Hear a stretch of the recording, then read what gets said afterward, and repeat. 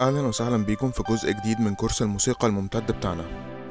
أنا اسمي إيهاب أبو دنيا تقدروا تسمعوا الموسيقى بتاعتي من هنا. وما تنساش تشترك في القناة وتفعل الجرس عشان يوصلك كل جديد. زي في الموسيقى؟ تعال نطبق الكلام ده بقى. طيب خلينا دلوقتي نفتح FL Studio ونشوف إحنا إزاي نقدر نطبق الكلام اللي إحنا اتعلمناه عن الايقاعات و الجزء التاني من من ال recording دوت هنشوف إزاي هن apply حاجة اسمها ال harmonization حسب أنت شفت ال- ال- الجزء دوت من الفيديو إمتى؟ آه، آه، هيكون الجزئين متغطيين يا إما قبل بعض يا إما بعد بعض. ده يرجع لك أنت في ترتيب الفيديو. أنا مرتب الترتيب بتاعي بطريقة معينة. ال playlist آه، دي أنا شايف إنها أنسب طريقة ممكن تتعلم بيها ال topics اللي أنا بغطيها. طيب إحنا دلوقتي جوه FL Studio أنا أول حاجة عايز أعملها عايز أسمعك ال metronome. ال metronome بيخبط أربع خبطات آه، أول واحدة دايما قوية والأربع خبطات دول بي بيعبروا عن حاجة اسمها البار أو المازورة تعال نسمعها. طيب. أنا بالنسبة لي المترونوم ده سريع جدا جدا. المترونوم هي دي ال icon بتاعته أو هو ده الزرار بتاعه. بنقفله وبنفتحه. ولو عايز تعرف أكتر عن طريقة استخدام FL Studio بشكل أعمق تقدر آه آه تشوف الفيديو اللي أنا كنت عامله قبل كده عن FL Studio ويعني نأمل يعني إن شاء الله بإذن الله يكون في فيديوهات تانية أكثر تعمقا في الموضوع دوت. آه ال- المترونوم ده بالنسبة لي سريع جدا جدا. المترونوم دوت بيخبط 140 خبطه في الدقيقة الواحدة.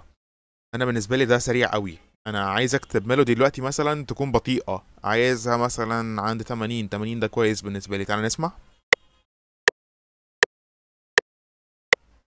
كده أحسن كتير بالنسبة لي أنا ده ذوقي دلوقتي. أنا عايز أكتب اتنين ميلوديز الأولانية هتكون بسيطة شوية بغرض إن إحنا نوضح يعني إيه music arrangement ويعني إيه harmonization ويعني إيه بعد كده بقى ممكن آه، نتجه لإن إحنا نحط ال- ال- ال melody دي مع أوركسترا نشوف صوتها هيبقى عامل إزاي. وال melody التانية هتبقى آه، معاصرة شوية هتبقى trap آه، وهتكون فيها شوية حاجات technical مختلفة. أنا دلوقتي عايز أحط صوت بيانو مثلا. ال- ال- الحتة اللي على الشمال اللي اسمها ال browser دي هتلاقي فيها غالبية الحاجات اللي أنت هتحتاجها من ناحية الأصوات من ناحية ال plugins ومن ناحية كل حاجة. آم، فتحت packs فتحت instruments فتحت keyboard جوه keyboard أنا هختار بيانو من اللي قدامنا دولت. أنا مثلا هختار stage grand stage grand يعني ال- البيانو بتاع ال- ال- المسرح الكبير. ال- أنا بالنسبة لي وجود الـ channel باسم stage grand دوت حاجة غلسة جدا. أنا محتاج إن أنا أسميه بيانو فهدوس shift زي ما أنت شايف الـ keyboard بتاعتي وأضغط عليه هسميه بيانو وبعدين عشان يطلع صوت في الميكسر هدوس control L شايف الـ keyboard بتاعتي برضو شايف إيه اللي بيحصل على الشاشة. تعالى نسمع البيانو الجميل بتاعنا. حلو جدا. إحنا هنختار بالنسبة للـ melody دي scale اسمه A minor scale. A minor scale شكله عامل كده اهو. بيبتدي من نغمه A و آه، minor يعني المسافات بتاعته whole whole half whole لا sorry whole half whole whole half whole whole نسمع. أهو whole half whole whole half whole whole. هي دي النوت اللي إحنا هنستخدمها عايز تعرف أكتر عن الكلام دوت؟ أنا اتكلمت باستفاضة عن السلالم. حسب بقى أنت شفت الحتة دي أو لأ. آه أنا الـ melody بتاعتي في الأول عايز أحط half note وبعدين 8 eighth notes وبعدين sorry 4 eighth notes. بعدين واحدة whole note هتملى البار التانية كلها. وبعدين اتنين eighth لا بلاش eighth خلينا نقول مثلا إيه half notes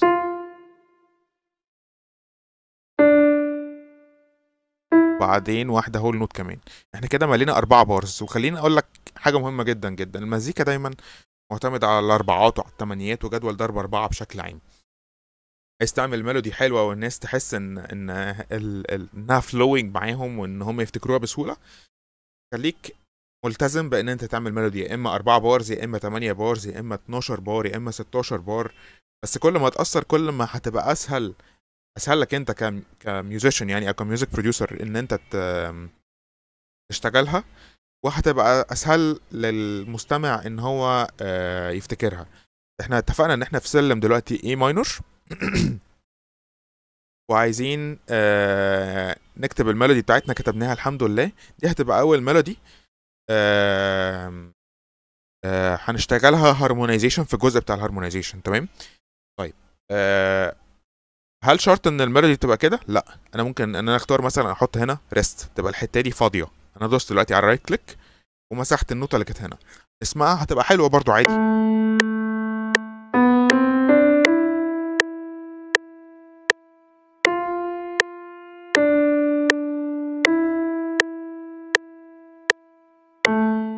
إحنا شايفين هي melody في منتهى منتهى منتهى البساطة. لو رجعنا ال ال الـ eighth note بتاعتنا في مكانها هتبقى برضو حلوة. طب افرض أنا عايز ازود هنا مثلا ازود هنا آه، أربعة eighth notes تانيين. أها. تعالى نسمع.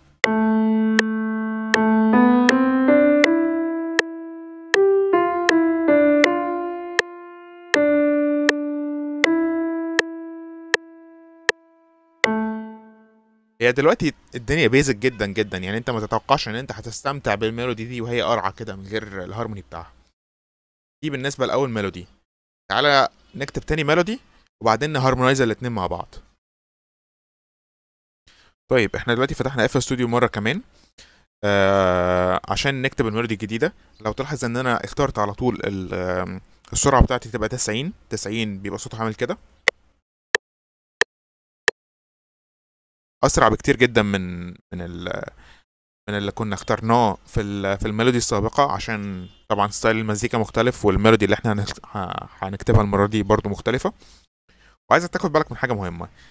آه، إحنا دلوقتي في FL Studio أنا مختار دايما الـ pattern الـ pattern ده اللي أنا بكتب فيه الـ melodies بتاعتي. عايز أكتب بقى أعمل آه، توزيع لل- للـ melody دي في كذا آلة. بختار الـ song mode في الـ song mode إحنا بنشتغل في في الجدول الكبير اللذيذ دوت. ده بيقول لنا إن هنا هتبقى آلة معينة وهنا هتبقى آلة معينة أو هنا pattern معين وهنا pattern معين وكلهم بيشتغلوا مع بعض.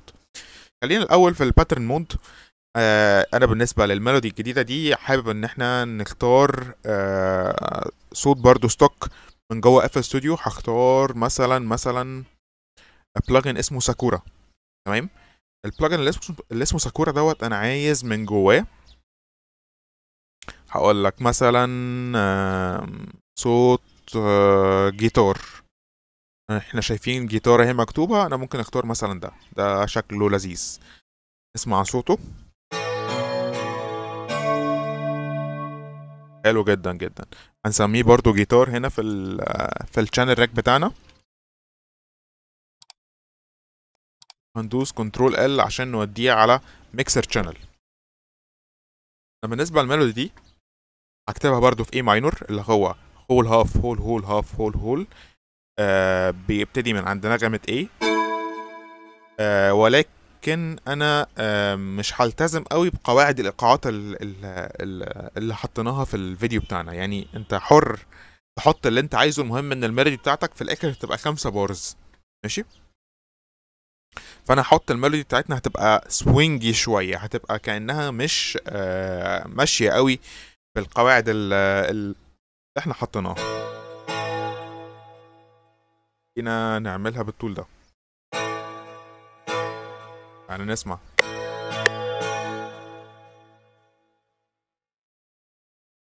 الطول ده هتلاحظ ان هو بالنسبة لل... لل...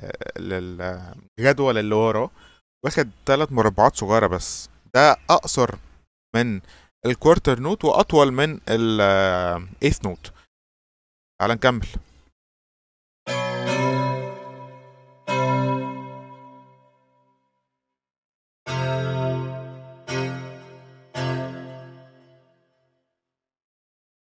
دي كده بقت 8th note كده بقت آه، 16th note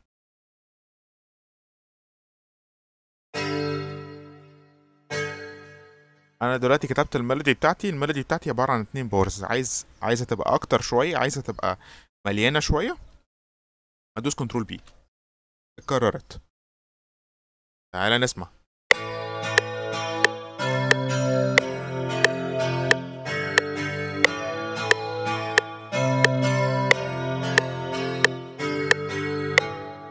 هنلاقي ان صوتها بقى حلو عادي يعني أنت مش لازم تلتزم بحذافير حذافير ال- القواعد اللي إحنا حطيناها المهم في الموسيقى إن أنت تكرر وفي نفس الوقت مهم إن أنت ما تكررش زيادة عن اللزوم عشان اللي بيسمع ما يزهقش.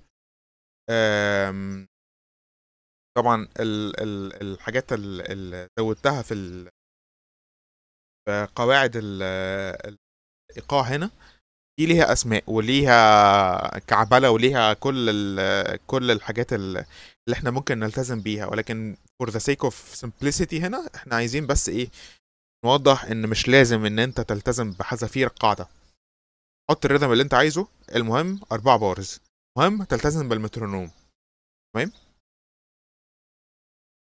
أنا اكتفي بهذا القدر بالنسبة للحلقة بتاعت النهارده.